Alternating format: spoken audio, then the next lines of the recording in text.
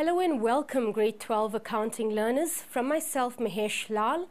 In today's lesson, we are going to be focusing on VAT, value added tax, and thereafter, we're going to be looking at stock valuations. Stock valuations, what exactly will we focus on? the first in, first out method versus the weighted average method. But to get started, let's firstly look at VAT. Right, guys, now when we talk about VAT, remember people, VAT is an acronym for value added tax. And if I had to ask you, what exactly is VAT? Yes, VAT is a tax. So let's just fill that in. Value added tax is a tax charged by whom?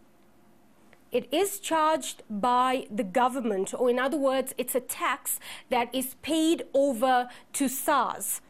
So we've got tax, but remember, people, this tax is, yes, charged by the government or by the receiver of revenue. Now remember, we do not physically pay the government. We don't physically go to um, the government and hand over the VAT or the tax that we should be paying. Instead, we use agents or VAT vendors. VAT vendors are used to collect the tax on behalf of the government. So you've got the government, but they will use businesses to collect tax on their behalf. So our focus is going to be on businesses. How does a business know exactly how much of tax or how much to VAT of VAT rather to pay the receiver of revenue at the end of the month or at the end of two months. Right, so let's now focus focus on businesses. Okay, just going to change the color. So that's going to be our focus. Now, we know that businesses buy products in order to sell these products to us, the consumers. Now, every time a business buys a product or buys stock, they will pay what we call input VAT or VAT input every time they sell the product to us, the consumers, the business then will charge VAT to their customers, and that VAT is what we call VAT output or output VAT. Let's just use a line to divide the two. Right, now I want to focus on these two concepts concepts what is VAT output, what is VAT input. If we look at the concept VAT output, I've already explained this is the VAT that the business will charge their customers. VAT input, on the other hand, is VAT that the business pays whenever they buy trading stock or whenever they buy certain items that included VAT. Right, now looking at VAT input versus VAT output, remember, at the end of the day, that VAT needs to be paid to SARS, it needs to go to the government. So the business basically draws up, or the accountant rather, will have a T account or a ledger account for VAT output as well as a ledger account for VAT input.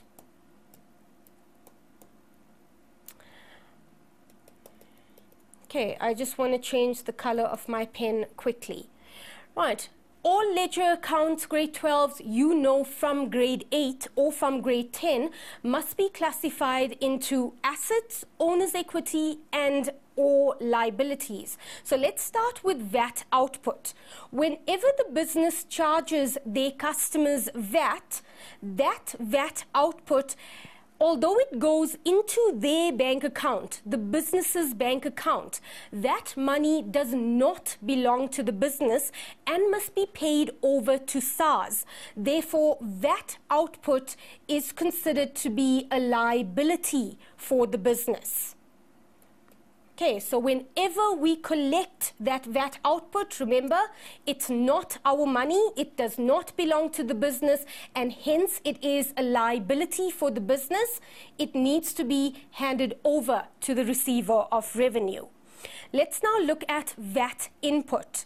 VAT input, on the other hand, is an asset to the business. And I'm going to explain in a moment why it is an asset. So for now, an asset increases on the debit side, we all know, decreases on the credit side. VAT input is considered to be an asset because this is the VAT that the business can claim back from the receiver. In other words, it is money that is owed to the business. The business has already paid this VAT when they were buying stock and SARS therefore needs to refund or pay back this VAT input that the business has paid. So VAT input whenever the business collects VAT, sorry, not collects, but rather whenever the business pays VAT, it's considered to be input VAT.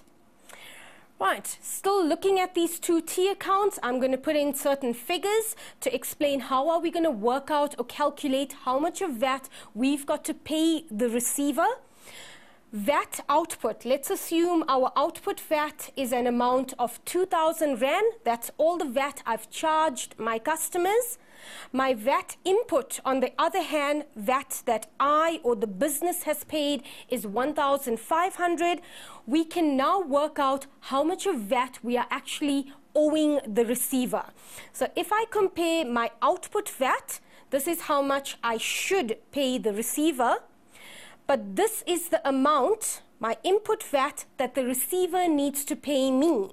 So obviously, guys, I'm not going to go now and pay SARS 2,000 Rand and tell SARS you are owing me 1,500 Rand. It doesn't work that way. We're going to now look at what is the net difference between the two. So the 2,000 Rand less the 1,500 Rand, we have to pay VAT or our VAT payable to the receiver is merely a difference between the two, and we've got to pay in this case 500 Rand to SARS. Now this is normally shown in a T account called the VAT control account, but we're going to look at that in a bit more detail when I explain some of the VAT concepts. Right, let's go straight to the VAT concepts. I know I've explained VAT in a nutshell, but let's now look at the specific concepts where you are sometimes tested on. So this is theory that you need to know.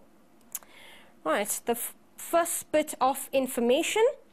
Firstly, what is VAT? I've already explained that VAT is a tax, but let's go through the actual description. Value added tax or VAT is a tax that is charged on the supply of goods or services by a vendor. Okay, very, very important. The word vendor refers to the business. And remember, the business needs to be registered, um, registered for VAT. Right, let's take a very basic example. So we've got an example given to us, cash sales excluding VAT, 400 Rand.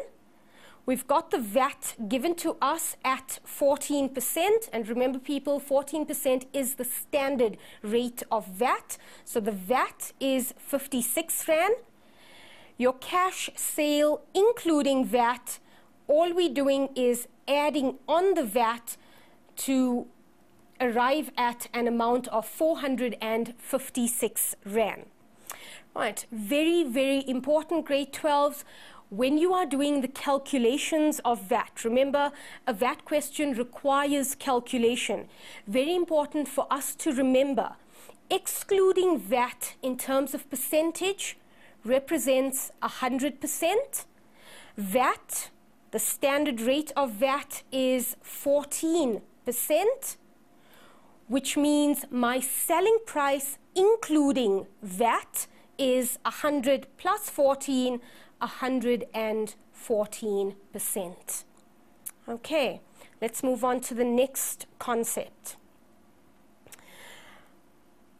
VAT vendors people I've already mentioned that vendor is the business, but who specifically or which specific business can be considered as a VAT vendor?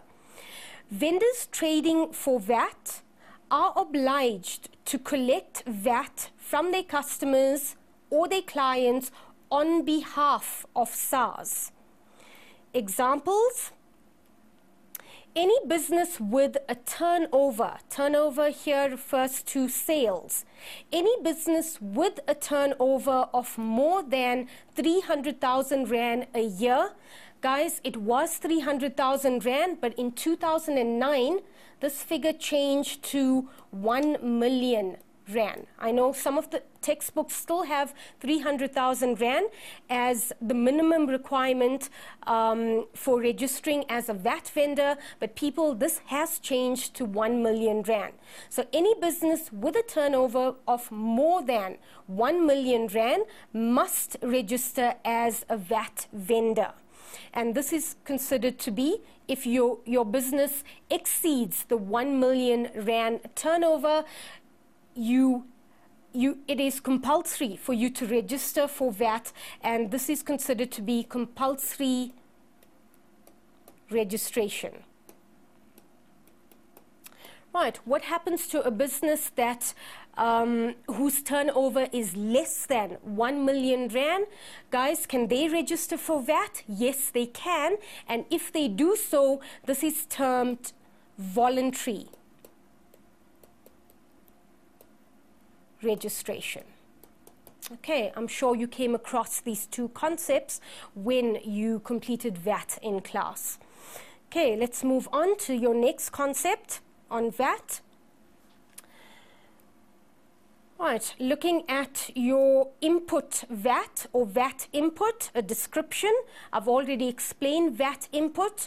VAT input, remember people, is the VAT that the business pays when they buy goods or services. So let's go through the actual definition given to us. VAT input is the VAT that is paid by the business to the supplier and they can, very important, they can claim back from SARS. In other words, it is the VAT that is paid on purchases. Now remember guys, what does the business normally buy? They've got to buy stock. A business also buys equipment, stationery, okay, packing material, etc. All of these items normally include VAT and the business can claim back the VAT that they've paid. Right, let's quickly go through the example. Purchase price including VAT is 600 Rand. VAT is charged or the VAT charged is 73 Rand 68 cents, and that is your 14%. The amount to be claimed back from SARS, in this case, the business can claim back that VAT that they paid of 73 Rand and 68 cents. Right, next concept. Again, we've touched on this right at the beginning, but let's go through it one more time. What is VAT output? VAT output is VAT that the business charges on goods and services to their customers and it must be paid over to SARS. This is VAT that is normally collected on sales. Example given to us selling price including VAT is 1399 rand 99 cents the VAT that is charged is 171 rand 93 cents and again people there's that 14% what is the amount to be paid over to SARS The amount paid is the VAT that you've actually charged your customers, 171 Rand 93 cents. Okay. Right, let's move on to your next concept. The next concept is of VAT control. VAT control, people, remember, is the difference between your VAT output as well as your VAT input. It is a summary of the VAT input and VAT output and shows whether the business owes SARS money or whether SARS owes the business money, which sometimes can happen. Right, guys, if we look at this description a bit further, when the business owes SARS money, when will, when will that situation arise? It is when our output tax exceeds or is greater than our input tax. The other scenario, when will SARS owe the business money? So the second part of this description. SARS will owe the business money when your input tax or your input VAT is much greater or higher than your output VAT or your output tax. Right, let's look at the example that they've given us. So in this example, my output VAT is 171,000 sorry 171 rand 93 cents. So there's my output. If i look at my input the input VAT that I can claim back from the receiver is 73 Rand 68 cents. The difference clearly shows that we are going to be owing the receiver money. So the difference between the two, we've got to pay SARS this amount of 98 Rand 25 cents, the difference between the two. Right, let's move on to the next concept. Right, we've touched on this, people, right at the beginning, but let's just explain this a bit further. What do we mean by exempt supplies? What, we mean, what do we mean by certain items are exempt from VAT? Now, remember, guys, exempt means that there is absolutely no VAT charged on these items whatsoever. It is exempt from VAT. The description the law does not subject certain products or services to VAT at either the standard rate or at zero rate. In other words, there is no VAT that is charged on these items, on your exempt items. Let's take a look at the example of exempt items. Interest does not have any VAT. Okay, Export services, another example of an exempt item. Child care services, exempt. Educational services, your school fees, the, the school fees that your parents have to pay, they don't pay VAT on school fees. In other words, it is an exempt item. And then finally, services that are provided by associations not for profit. In other words, your non profit organizations, like for example the SPCA, they cannot charge us VAT on any items that they sell. Right, VAT, like I just said, cannot be added to the price of these items at all. These items are exempt. Let's move on to the next concept that you need to be familiar with zero rated. Zero rated items are goods or services that are taxed at a rate of 0%. So, in other words, there is VAT, but it is taxed at 0%. Now, you're probably thinking, hang on, that's similar to exempt. What is the difference? There is a difference, people. The difference being that zero rated items, although you cannot charge VAT on these items, the vendor can still claim back the VAT that they might have paid in the making of that product or rendering of that service. So, for example, um, if we take brown bread, brown bread is considered to be a zero rated item. You do not pay VAT on brown bread. But in order for um, the business to or Albany rather, let's take Albany as an example because they make bread. If Albany um, in order for them to make the bread, they obviously need to buy certain products, certain ingredients. They've got to pay transport costs. And during that time, they've got to pay VAT as well. So the receiver grants them that opportunity to claim back the input VAT that they've paid. But remember, when Albany is selling this bread to Pick n Pay or to Spar, they cannot charge the vendor or rather the business that 14% VAT. It is zero rated. Okay, your examples I spoke about brown bread, then milk is zero rated, maize products, rice, lentils, and you've got a whole list of items that are zero rated. So let's now look at how exactly is VAT calculated? What are the transactions that you can expect in an exam? Remember, earlier on we've discussed the VAT concepts. Now we're looking at the transactions involving VAT. So let's look at some of the common transactions and then we can start with an example. So let's start with the transactions. Okay, the first transaction trading stock purchased immediately the word purchased tells you that if the business purchased stock, they would pay VAT. And whenever the business pays VAT, this is your input VAT or VAT input. The next transaction, trading stock sales. Sales as in the business is selling the stock. So every time the business sells stock, they will charge VAT and that VAT is called output VAT.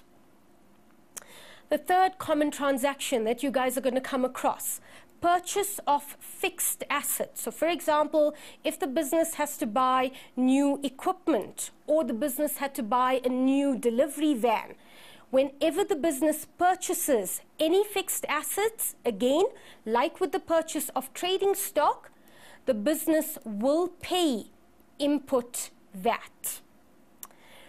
Then we've got sale of fixed asset. The word sale gives it away. Every time the business sells a fixed asset, they will charge output VAT. Right, next common adjustment that you're going to come across. Income items, rent income, etc., excluding interest income. So if I come across rent, rent income, commission income, remember people, this is income that I receive. So I'll obviously, as a business, charge my customers or charge my tenant VAT on that rent. So the moment I am charging VAT, that VAT is known as VAT output or output VAT expense items. So if the business has to pay for rent, rent expense, the business has to pay for telephone, the business has to pay for fuel, rates, water and electricity, telephone, the business will normally pay input VAT. The item that I did not discuss is interest because we came across interest. Interest is an exempt item. We don't pay VAT on interest expense. Right, guys, the very last thing that I want to look at before we start with the first example is your ledger accounts and the format of your three ledger accounts. Let's look at the first format, or let's look at the very first account, your VAT output account. That output, I explained earlier, is a liability. On the debit side, your liability decreases. On the credit side, your liability will increase. We've learned from grade 8 all the way up until now that all liabilities have a credit opening balance. So there is a possibility that you could have a balance brought down for your VAT output. When will that balance increase? Every time you collect VAT on behalf of SARS. So, for example, every time there is a sale, your VAT output is going to increase. So, if there's a cash sale, remember a cash sale, contra account is bank, VAT output increases. Every time you sell on credit, so every time there's a credit sale, contra account debtors control, again, your VAT output is going to increase.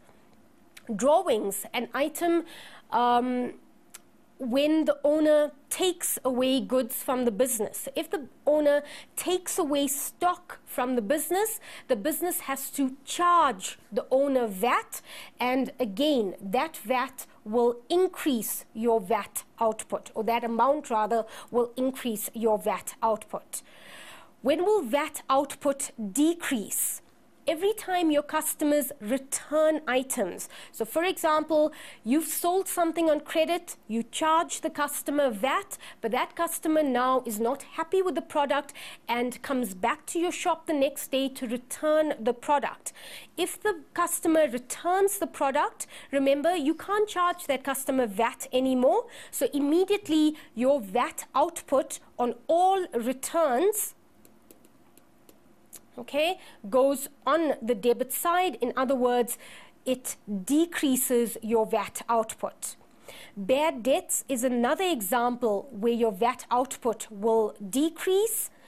Um, and then in the end, guys, all we have to do with this account is close off. I'm going to write the word here.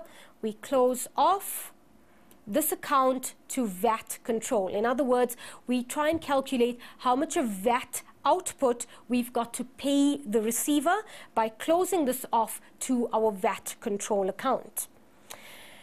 Your next account, input VAT or VAT input, let's just change the color there. Okay, VAT input, like I explained earlier, is an asset. On the debit side, assets increase. On the credit side, assets decrease. Now remember, guys, VAT input is the VAT that I can claim back from the receiver. In other words, it's the VAT that the receiver owes me or owes the business. So every time the business buys, and they buy using cash or using a check, the amount of VAT they can claim back will increase. Okay, and the entry, yes, in the CPJ, and obviously you enter your amount.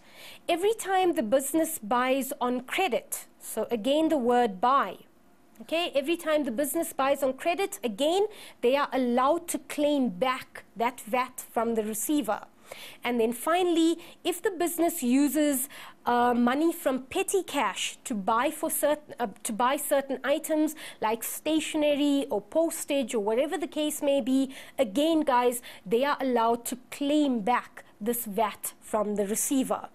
What decreases your VAT output? Sorry, VAT input rather, not output whenever you are unhappy, you as in the business, if you are unhappy with something that you've bought, you can obviously take it back to your creditor. And as a result, because you now have returned the item that you bought, you can't claim that VAT. So this would reduce the VAT input that you can claim from the receiver. And then finally, guys, like we saw with your VAT output account, um, at the end of this account, we need to close off VAT input. So I'll just again write off, write down rather. We're going to close off VAT input to VAT control account. Okay, guys, the very last account that we're looking at is your actual VAT control account. Remember, people, this account can either be an asset or it can be a liability. If I am owing I as in the business. If the business is owing the receiver money, that is considered to be a liability. But if SARS is owing or the receiver is owing the business money, that is considered to be an asset. So when we draft this account, we can end up with either a debit balance or a credit balance. That can either be an asset or a liability. Right, guys, we looked at some concepts, we looked at um, some ledger accounts. I think we're ready now to begin with an exercise. Let's now look at the very first example on VAT. Right, question one. This is a question on VAT and it has a bit of ethics as well. Let's look at the very first question. What is the difference between output VAT and input VAT? And this question, four marks. So a bit of theory. Right, we've already discussed this. Output VAT Okay, this is VAT that is charged on goods or services by a registered VAT vendor. Okay two easy marks. What is output VAT? We've discussed this already. Let's look at the second part of the question. What is input VAT? Okay, let's just extend the page there and let's change the color of our pens. Input VAT. Okay, input VAT, guys, I've already explained. This is VAT that can be claimed from the receiver or from, um, let's just fix that. Okay, from SARS when the business buys goods or when the business pays for certain expenses.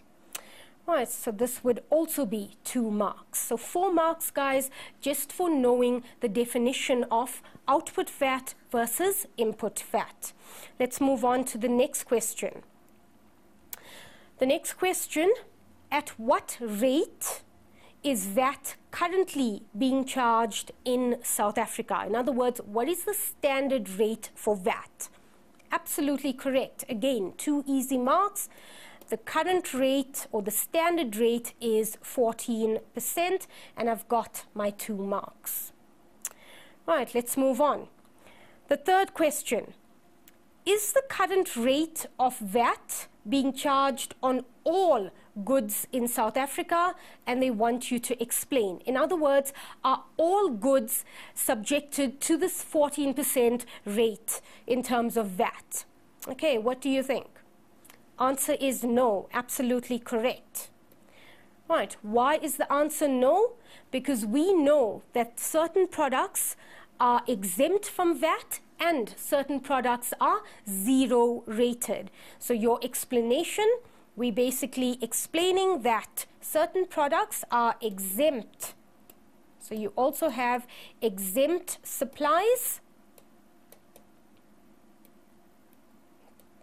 Okay, and we also have certain products that are zero rated.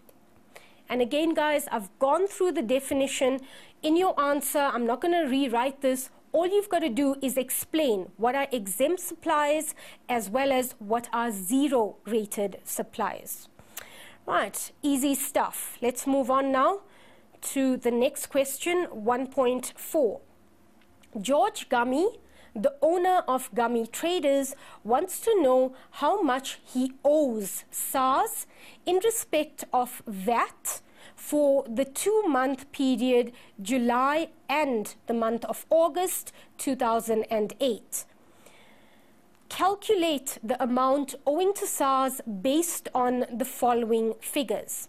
Okay, so you've got this entrepreneur, George Gummy, and he wants to know how much of tax or how much of VAT he is owing the receiver of the revenue, uh, receiver of revenue. Let's read on. Okay, your answer, when you get to your answer, you are instructed to round off to the nearest cents. The information that's been given to me, total sales for the month of July and August is 880,800 Rand and they tell me it is exclusive of VAT.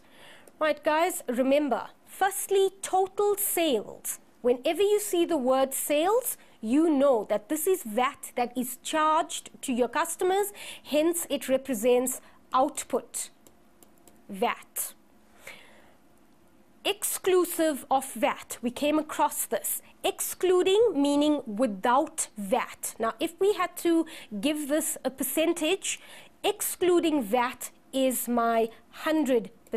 Because remember, including VAT, I add on the 14% for it to become 114%. So this amount given to me excludes VAT and therefore represents 100%. Let's move on. Total purchases for the month of July and August is 415,500 Rand. And here they tell me this is inclusive of VAT. Total purchases, guys, whenever you see the word purchase, remember this is the VAT that the business or George rather can claim back from the receiver. So whenever the business can claim back from the receiver, this represents my input VAT. Let's move on. Inclusive of VAT. If excluding VAT is 100%, including VAT to that 100%, I am adding my 14% to give me a percentage of 114%. So this figure here includes VAT, therefore it represents as a percentage 114%. Right, last bit of information before I can do my calculation. What is my purchase of equipment in July? Sorry, let's just start over. Purchase of equipment in July, 65,000 Rand, inclusive of VAT. Again, guys, the word purchase clearly tells me this is input VAT. And again, I've got inclusive of VAT. We've already discussed this. If I had to convert this to a percentage, inclusive of VAT is 114%. Right, we're ready to do our calculation, so let's start. Let's just change the color to, let's go for the green. Right, let's firstly calculate what is our VAT output. Okay, so our very first transaction, there's our output VAT.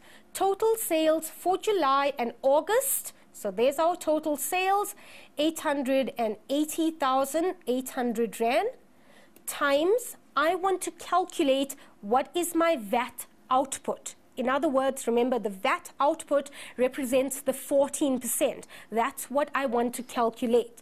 So I'm going to multiply this by 14% and divide it by what do I have? In other words, what does this amount represent as a percentage? I've already explained this amount represents 100%. So the total VAT that I've charged my consumers, if I take, let's get our calculators out. Right, there's our calculator, people. So the amount 880,800 times this by 14.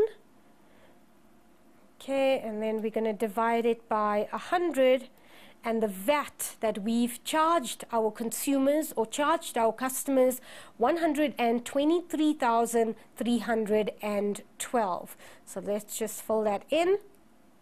123,312. Let's just double check that. Yeah, there we go. Okay, so that's my total VAT output, or rather, gummy stores, that is their total VAT output. Right, let's now move on. In order for me to calculate VAT, I've got my VAT output, but I now need to work out what is the VAT input that I can claim from the receiver. So let's now calculate our VAT input. Okay, back to the information. Second bit of information. Total purchases for July and August was 415,500 Rand. It's inclusive of VAT.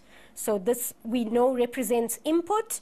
Then I've got purchase of equipment in July, 65,000, again inclusive of VAT. So in other words, these two items include VAT and I'm going to use these two items now to calculate what is the total VAT input I can claim back from the receiver.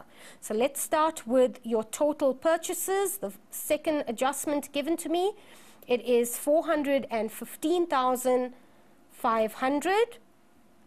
Okay, then I've got purchase of equipment also inclusive of VAT. So I'm going to add on 65,000.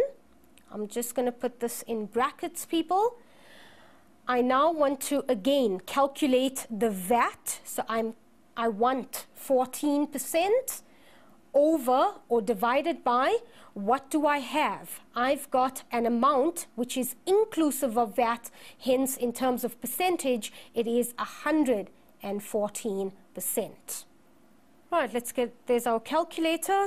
Let's work out our VAT input. So 415,500 plus 65,000 times 14 and we're going to divide by 114 okay and that gives me the VAT that I can claim back from the receiver 59,008 rand remember guys we need to round off to the nearest cents so that would give me 77 cents so let's write that in okay we've got 59,008 rand and 77 cents. That is the amount of VAT that I can claim back from the receiver. Right, guys, once we've got our VAT output, we have our VAT input, we can now calculate what is the VAT payable or refundable by SARS. So let's do that calculation. So we've got, let's just extend the page a bit here. So there's my VAT output. So this is the VAT that I've charged my customers. This is the VAT that I can claim back from the receiver. We can clearly see that your VAT output is much greater than your VAT input. So that means that gummy stores will be owing the receiver. So my VAT payable to the receiver would be the difference between these two amounts that we've just calculated 123,312 and we're going to subtract 59,008 rand 77 cents. So again, let's get the calculator out. Okay, so we've got that output one 123312. We are going to subtract 59,000 and 8 Rand 77 cents and that is the VAT guys that we now need to pay the receiver 64,303 rand 23 cents okay so that amount people 64,303 rand 23 cents let's just double check that there we go okay so that's the amount of VAT that needs to be paid to the receiver Right guys, let's move on now to our next question, 1.5. And this is a question on ethics. Okay, let's read the question. George Gummy regularly purchases goods from sneaky stores. Now guys, I don't know about you, but the moment I see um, a name such as sneaky stores, I'm going to expect a bit of sneakiness in this question. So let's just read on. The owner has offered you a special price the owner, meaning the owner of Sneaky Stores, has offered you a special price of 6,800 Rand, including VAT, instead of the normal price of 700, sorry, 7,400 Rand. Right, immediately, nothing illegal about that, nothing wrong about that. Instead of the business or instead of gummy stores paying 7,400 Rand, they are being offered a price of 6,800 Rand. So, so far, everything seems okay, provided you pay cash and do not require a document a document or documentation. Aha, so there, there comes the sneaky bit that we were suspecting. Um, remember, people, whenever you buy a product, you are normally given some kind of documentation as proof that you've bought the product. So in this case, Gummy Stores wants to purchase something from Sneaky Stores and they are offered or they are given a purchase price of 6,800 Rand instead of the normal price, which is 7,400 Rand, but there are conditions attached to this particular purchase. So if you want to buy this product at 6,800 Rand, I'm not going to give you any invoice, I'm not giving you any documentation, and in order for this to be not traceable, you need to pay me cash. Now remember people, we've always learned in accounting that businesses when making payments, they do so by check or via an el electronic transfer, but no business uses cash to make payments. And also, if you buy or if you sell, there needs to be proper source documents that are completed, in this case, an invoice. Right, let's read on.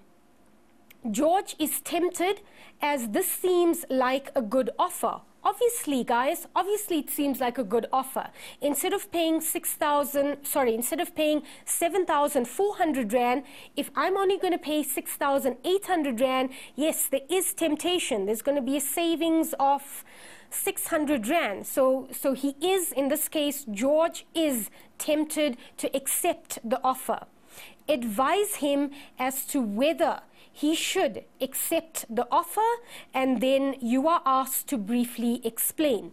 Now, before we look at the actual answer, guys, let's just talk about this quickly. There's an offer made to you. In this case, it's made to George. Now, remember, in terms of that, um, ethics comes into play. I cannot claim for something or I cannot claim for VAT if I haven't paid VAT. What proof do I have that I've actually paid for the VAT? The proof lies in the source document itself. So without that source document, I can't or George in this case will not be able to claim back that 14%. Then turning the tables around in terms of sneaky stores. Sneaky stores wants to include VAT in this actual sale of 6,800 Rand. But remember, that VAT, because there's no documentation, Sneaky Stores is not going to pay that VAT over to the receiver of revenue. So that money is going to go into their account the sale as well as the VAT that they are charging, but they obviously are not going to pay that VAT over to the receiver. Now, remember, guys, this is unethical business practice. In other words, it is an offer that George should not accept. Although, yes, he's tempted to, yes, there is a savings, ethics comes into play. So let's look at the answer. It is unethical to accept offers like this, as it is obvious that sneaky stores will not record this as a sale. How do we know that they are not going to record this as this as a sale? Because there's no documentation. And remember guys, you need to have proper source documents, then you record the entries in your cash receipts journal or if sold on credit in your debtors journal. There has to be proper documentation. In this case, there isn't. And therefore, so because there's no source documents, there's no trace of the sale, it will not be reflecting or it will not reflect to SARS. The reputation of gummy stores is at stake. So if there's any kind of VAT um, audit on gummy stores and um, it is discovered that gummy stores is buying goods without proper documentation um, and they they claiming back the VAT, the reputation of the of this business is at stake. Okay. Right, guys, we've come to the end of question one. We've looked at VAT calculations in this question. We looked at certain VAT terminology. We've also touched a bit on ethics.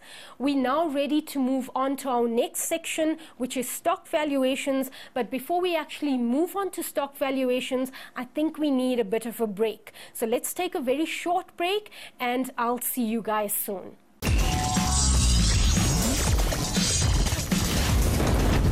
Welcome back, guys. In the previous question, our focus was on value added tax. We can now move on to stock valuations. So let's start by looking at firstly, what is this section all about? Let's do a quick recap on stock valuations. Right, guys, stock, we all know is obviously items that the business buys in order to sell to their consumers. Now, in this section itself, when we talk about stock, we are referring to stock at year end. Okay, year end, people, is my closing stock. Okay, valuation, the word valuation itself.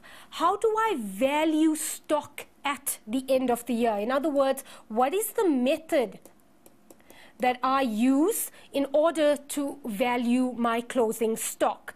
Now, in accounting or in grade 12 accounting, you've learned that there are two methods of stock valuations. The first being FIFO, which stands for first in, first out method, and the second method is my weighted average method. Okay, guys, these are the two methods that I'm sure you've come across, and we obviously going to just do a quick recap on what is the FIFO method and what is the weighted average method. What's the difference between the two? Right, now before we actually look at the differences, let's look at why. Why do we need FIFO? Why do we need weighted average? Surely, if I have the number of units on hand. So, for example, at year end, I've counted in my shop, I've got 100 slabs of chocolates. Each chocolate has a cost price of, let's assume, 6 Rand. Surely the closing value of my stock is 100 times the 6 Rand to give me 600 Rand obviously that's the amount that I should take to my balance sheet as my closing stock figure. Now, why doesn't this work? Why, why do I have to use FIFO or oh weighted average?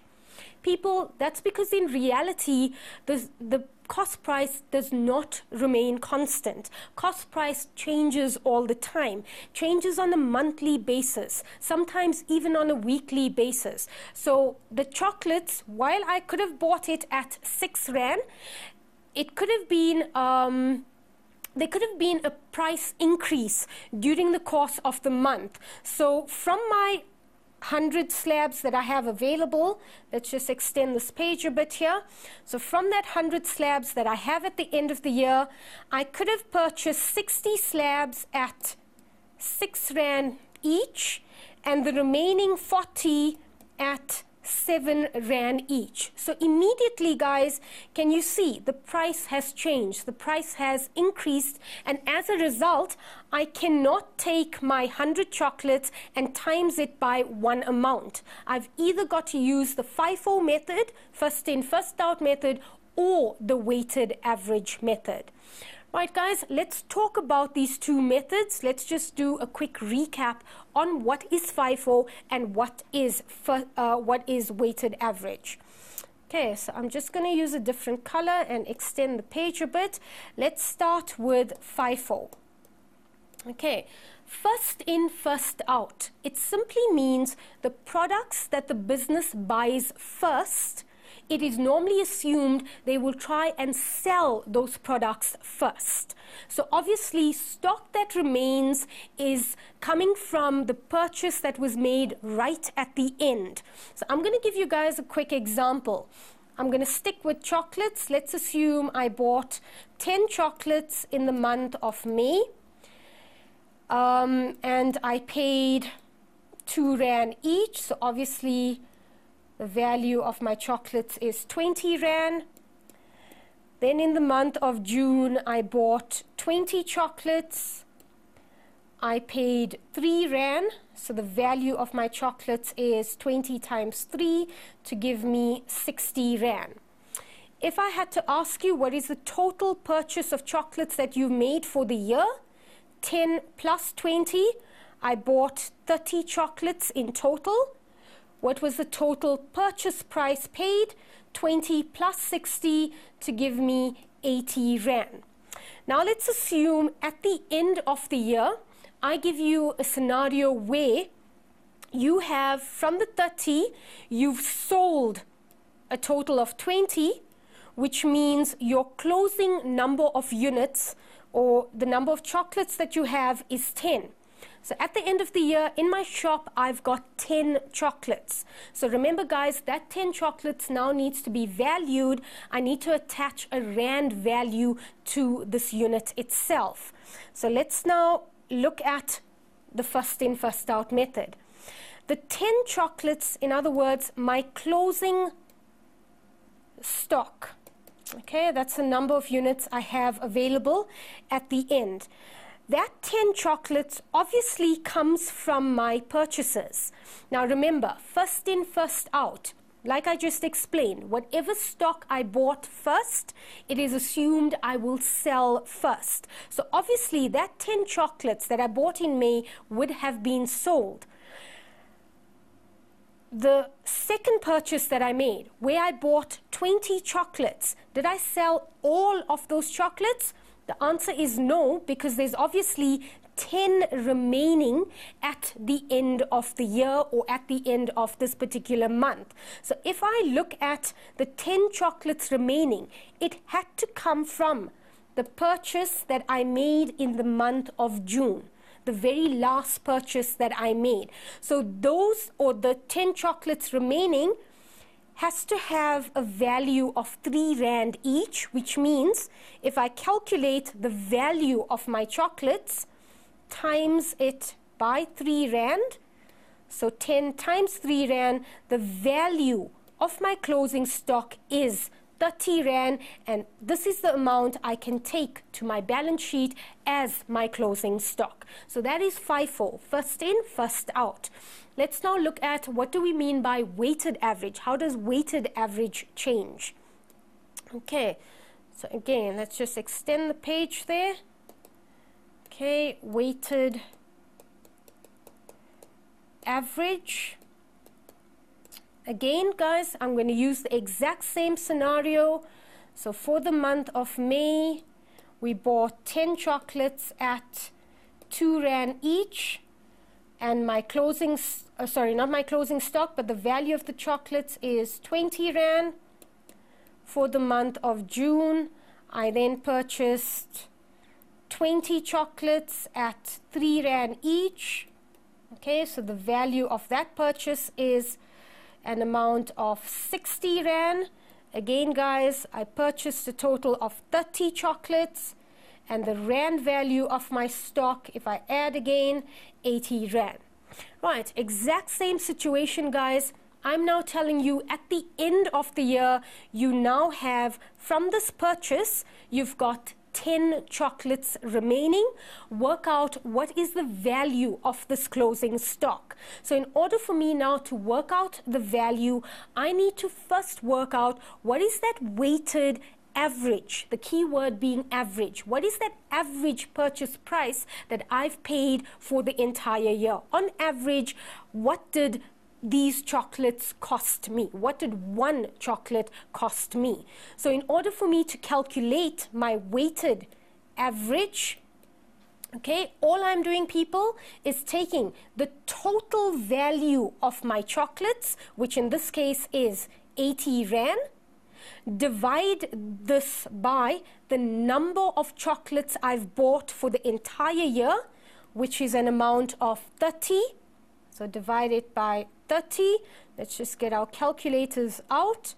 So I've got 80 divided by the total number of chocolates that I bought for the year, 30, and that gives me an average or a weighted average price of 2 rand 67 cents if I round off to the nearest cents. So on average, these chocolates costed me 2 rand 67 cents. That was the average price of the chocolates. Right, guys, once you've got that average price, remember the question or the normal question would be what is the value of your closing stock? I've got 10 chocolates at the end of the year. Each has an average price of 2 Rand 67, so 10 times 2 Rand 67, and the value times that by 10 and the value of your closing stock is 26 Rand 67 cents. Okay, let's just fill that in. 26 Rand 67 cents. So that's your closing stock. Okay, people, this section is really not difficult. It's just a matter of you understanding the difference in calculation between first in, first out method and, uh, and of course the weighted average method. Right, I think let's let's start with an exercise. Let's look at an example where we're going to apply what we've just recapped on. Okay, so the e example or the question that we're looking at, we're looking at question two, inventory valuation control. This question has a bit of VAT. I'm not sure whether we're going to get to the VAT question or not, but for now, let's look at the inventory valuation question or the stock valuation question. Laser Stores sells television sets to the public. The financial year ends on the 28th of Feb 2009. They are unsure which method to use in valuing their stock. Now remember guys, whenever they mention the word valuing stock, they're referring to their closing stock. So they're unsure which method to use. Should I use the first in, first out method? Should I use the weighted average method? The cost price of the product has changed significantly during the current year. In other words, the cost has not remained constant. It, it has constantly changed. The owner, Larry Laser, has decided to keep selling the same model of the TV set. So they give you the name of the particular TV set, Mabona TV sets, and then they're giving you a model or a serial number, despite the fact that other shops are selling newer models. So you've got this owner, he's selling a particular TV.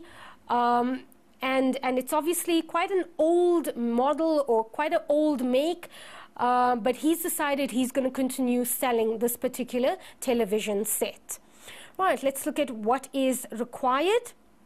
We require to calculate the value of closing stock, firstly using the FIFO method. Okay. The next question, we are going to calculate the value of closing stock using the weighted average method. Guys, I'm just going through the entire question first, and then I'm going to go back to obviously the first part of the question. The third question you are then asked which method of stock valuation would you advise the owner to use? In other words, should he use the first in, first out method or should he use the weighted average method? And then give a reason for your answer. Okay, and then we get to the actual information. Now, this is what I wanted to get to before we looked at the questions. So let's now look at the information that they are giving us. The following information appeared in the records of laser stores for the year ended 28 Feb 2009. The business uses a fixed selling price. Fixed selling price, in other words, the price hasn't changed for the entire year. So at the beginning of the year, they were selling the television set at 16,000 Rand.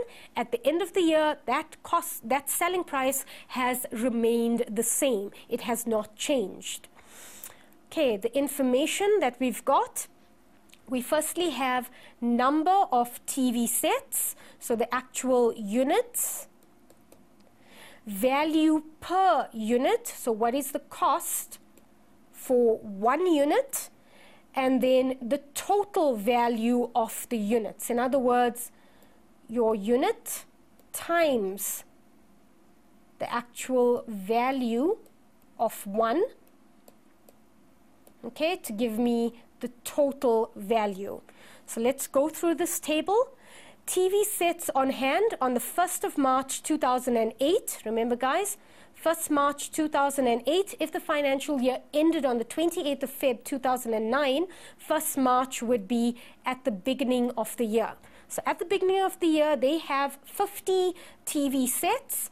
Each has a value of 11,000 total value, all you're doing is multiplying to get the total value of your opening stock, 550,000. If we move on, TV sets bought during the year. So if we look at the individual months, for the month of May 2008, we bought 300 units, paid 12,000 Rand per unit. So in total for that month, we spent 3,600,000. Okay, then they give us information for September 2008. Here we bought 250 units. Again, we notice, or rather, we notice in this case, the cost price that we bought decreased. So from 12,000, it now is 11,560 Rand. And then again, the total value given to me. For the month of February, we purchased 200 units. And again, guys, can you see that the cost price has dropped. It's dropped to 8,000 Rand and the total value 1,600,000. Okay, so clearly we're seeing a trend of where this TV set is no longer in demand because there's newer models available, better quality, better sound, better picture, all those plasma screens that you have. So obviously the older models, their value is decreasing. The cost price is decreasing. Right, if we move on, the subtotal, the subtotal, guys, is merely the number of units that I actually have available. Okay.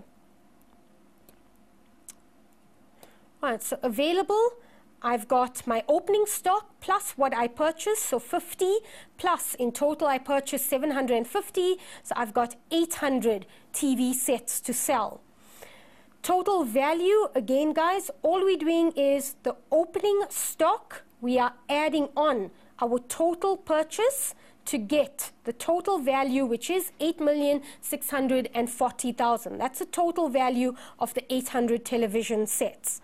They go on to tell us TV sets sold during the year. So out of that 800 that we have, we've sold 440, which means the TV sets on hand on the 28th of Feb 2009. Immediately, guys, this is end of the year, your closing stock. So at the end of the year, let's just extend the page there a bit. At the end of the year, we have available if I subtract 800 minus 440 in our shop, we have 360 television sets. The value is not given because remember, this business doesn't know whether to use weighted average or the FIFO method. And again, the total value is not given. Okay, so there's our information. Let's now go to the actual questions itself and let's answer our question. Okay, we're just going back a bit.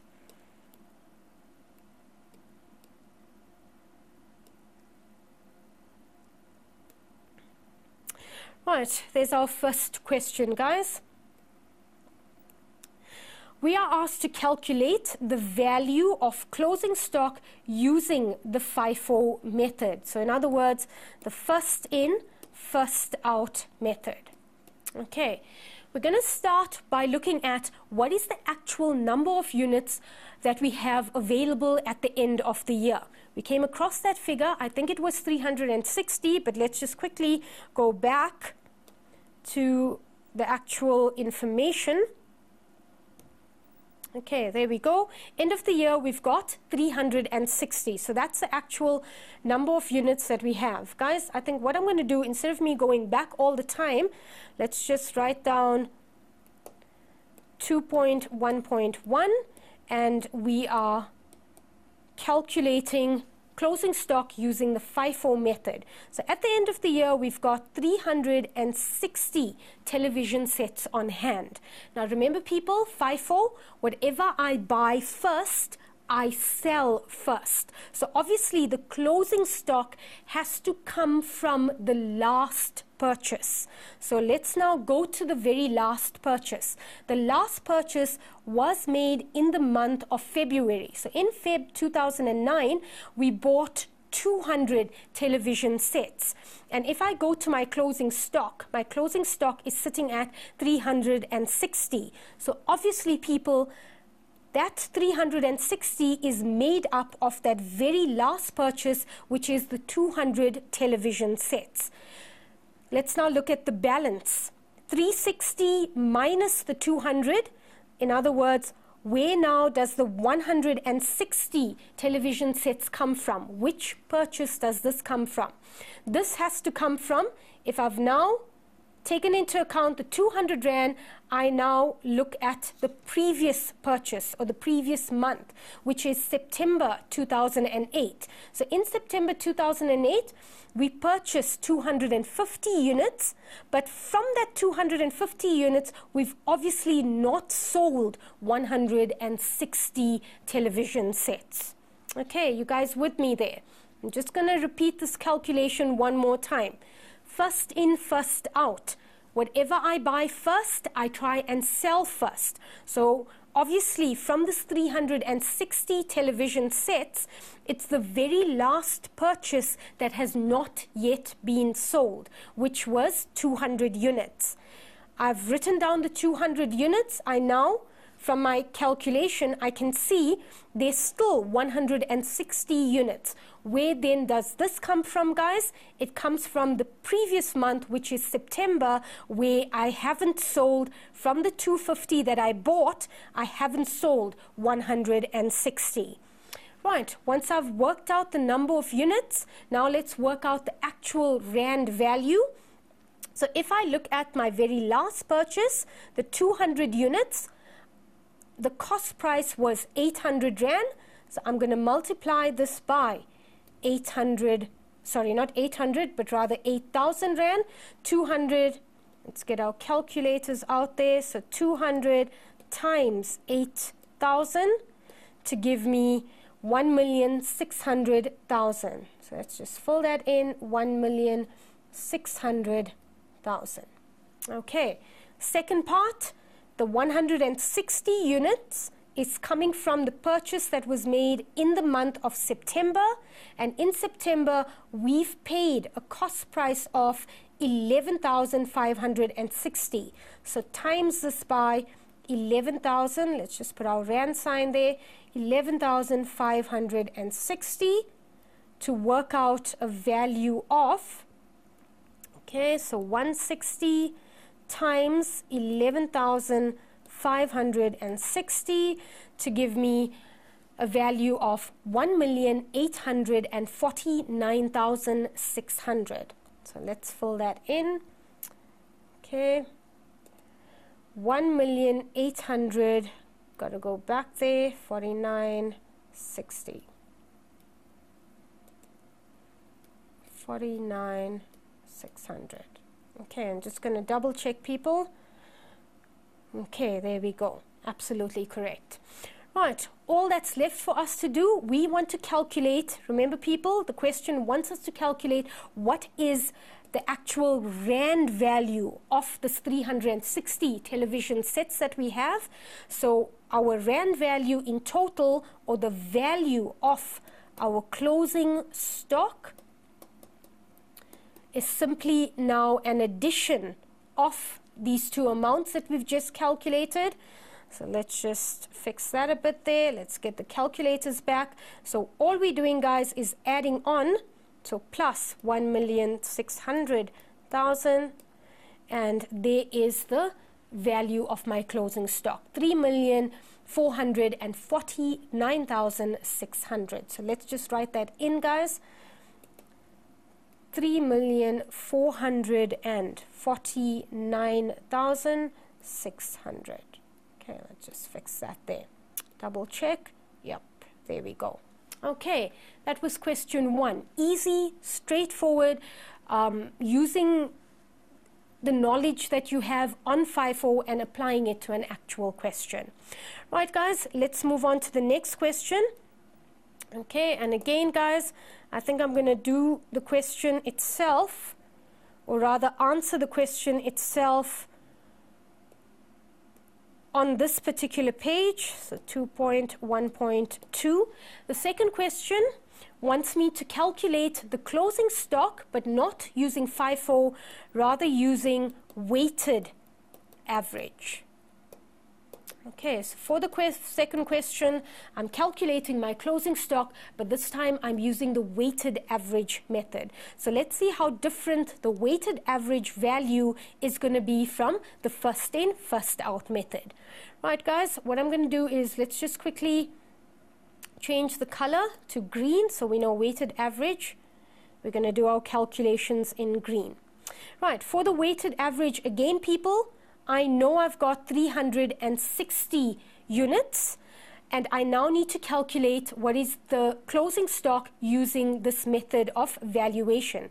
So using my 360 units, I'm going to multiply this by a weighted average price okay, I need to calculate what is that weighted average or what is that average price that we've paid for our for the television sets. So let's now calculate weighted average price first. That's what we've got to do first before we work out the actual value of the closing stock. So in order for me to calculate calculate my weighted average price, I am going to take the value of okay so I'm going to take the value of the value of the total goods available. Just as I did with the chocolates I took the value of the total chocolates and I'm going to divide this by the number of units available the number of television sets we had for the entire year.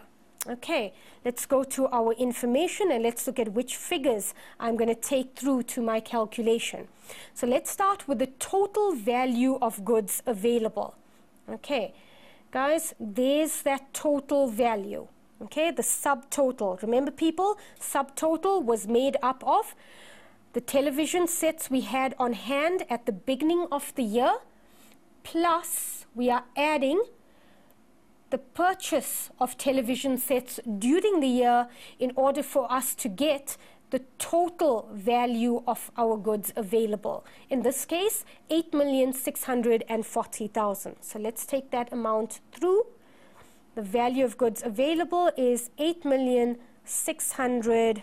Got to go back there. It's quite a big figure. 640,000. Okay, so that's the actual RAND value. I'm now going to divide this by the number of units that I have available. So back to your information. Again, guys, subtotal number of units that you had available is 800. A recap on how we got this 800. At the beginning of the year, we've got 50 television sets. During the year, we bought an additional 750. So in total, we've got 800 to sell out there to our customers. So we're going to divide this by 800. Okay. Right, let's get those calculators out. So we have this amount of 8,640,000 and we're dividing it by, just move this a bit, we're dividing this by 800 And there's that average price. So on average, we've been paying 10,800 Rand whenever we've been purchasing these television sets. So that's our average price, 10,800. Okay, once I've got my average price, guys, now it's straightforward. I take my 360 times that weighted average price that I've just calculated. So all we're doing is we are multiplying 10,800 times the 360 units that I have available. And that's going to give me, times it by 360, the value of my closing stock, guys, 3,888,000 using this method of valuation. Okay, so 3 million 888,000. Okay, I'm just going to put this answer in a block. Right, that's the value of my closing stock using the weighted average method. Okay, guys, now, if you compare, if you look at the first in, first out method, and if you look at the weighted average method, you're going to see that there's going to be a difference in the actual value of closing stock. And that's what I want to look at before we look at the third question. So what I want to do quickly is, we already know that this is weighted okay the weighted average method and let's just get the pink pen out. Let's rewrite what was our FIFO method. The FIFO method if we go a bit further up is the value of our closing stock 3,449,600 3,449,600 okay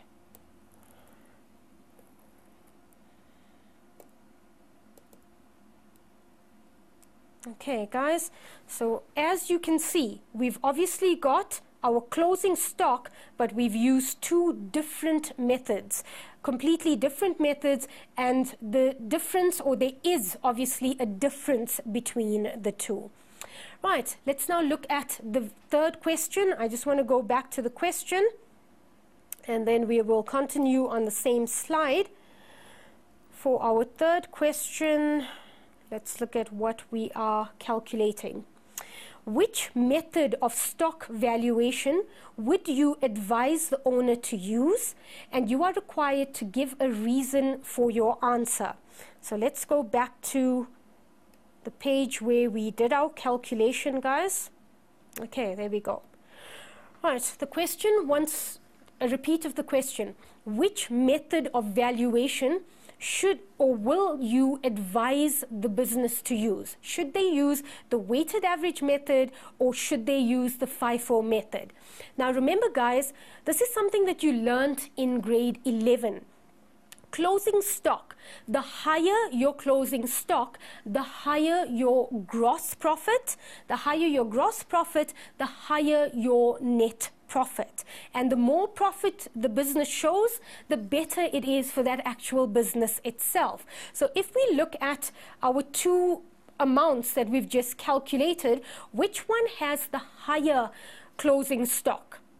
Okay, it's obviously people, the weighted average method. So if we look at the weighted average, this is a higher value of my closing stock. And the higher the value of my closing stock, remember people in grade 11, you completed an account called the trading account. Okay, trading account helps you to calculate gross profit.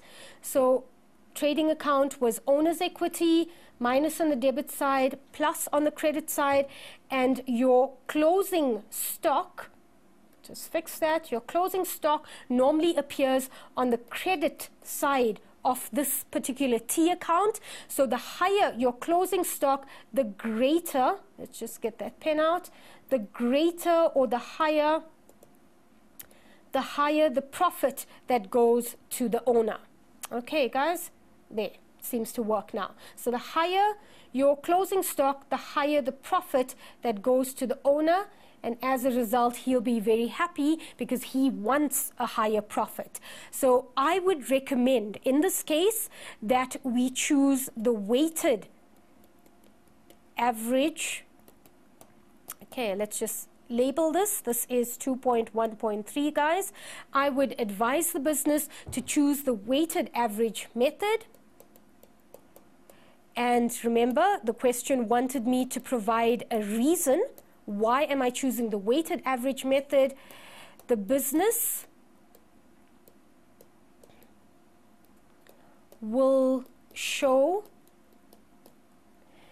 a higher gross profit. Right, guys, we've come to the end of the session. Unfortunately, we can't move on. We've run out of time. Um, remember, people, we covered VAT. We did a bit of stock valuations. You guys need to now practice, practice, practice. Do as many exercises as you can on VAT. Remember to learn your VAT concepts, learn your calculations, revise your calculations, and you should be absolutely fine for that year end exam. Good luck, grade 12s. God bless. And from me, it's goodbye.